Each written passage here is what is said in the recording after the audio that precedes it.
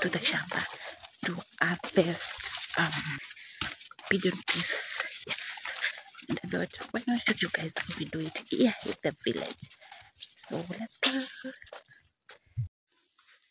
Hi, my neck, yeah, bye. So here we are guys. So as you can see, most of the pigeon peas are brown. That means they are dry. So this is where we will be harvesting. Yeah. So all you need is this basket. So you put it on your waist. If you have bigger butt, better you because you have somewhere to hold um the basket. But if you don't, you're gonna work with what you have, man. Because that basket have to stick there.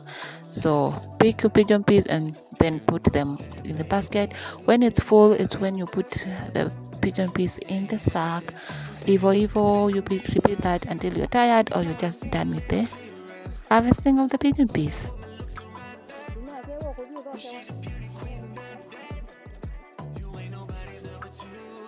so guys in the middle of harvesting the pigeon peas we got a visitor. And guess who? A snake. Yes and for the first time i saw a snake and i didn't kill it. Yeah because it wouldn't be fair if i killed it and this is its territory. Yes i don't know. I think i've been watching a lot of snakes in the city and susie and simon have really taught me a lot so i just let the snake be and continued our job. Hey guys it's time to go home and i chose to leave the goat home rather than carry the pigeon peas You have a strength like nothing I've ever seen. You're like a woman ripped so this is the second part sun drying. Just making sure they are dry dry. I know they are already dry but we're just making sure like they are dry dry. And so as you can see because of the sun some pigeon peas starts coming out of the like pod. So that means they are like dry. So you fasten the process by threshing like beating um the pigeon peas with a stick like the way they are, that i am doing. Yeah that can fasten the, the process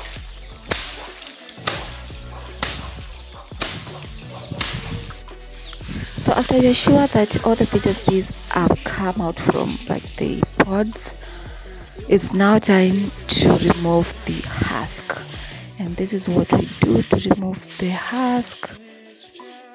Yeah making sure the peas go down and then the husk come up and then removing it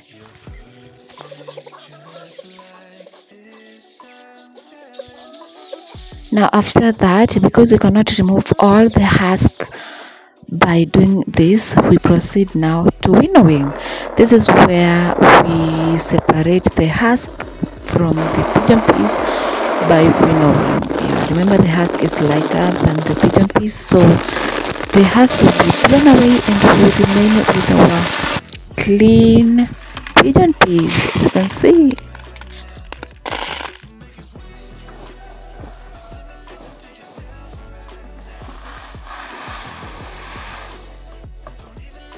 now with this the only thing remaining is to remove the debris like the bad ones.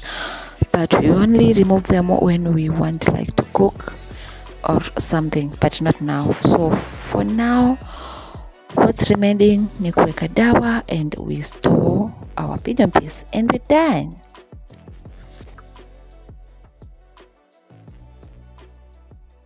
so thank you so much guys for watching my video. And really appreciate. If you haven't subscribed please be sure to subscribe. And i will see you guys in my next one. Until then bye bye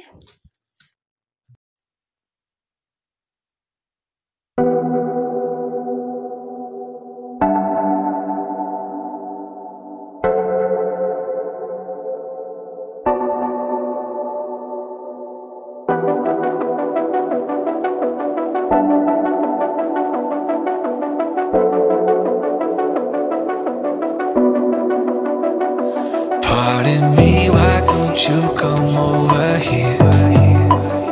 I need to ask you something.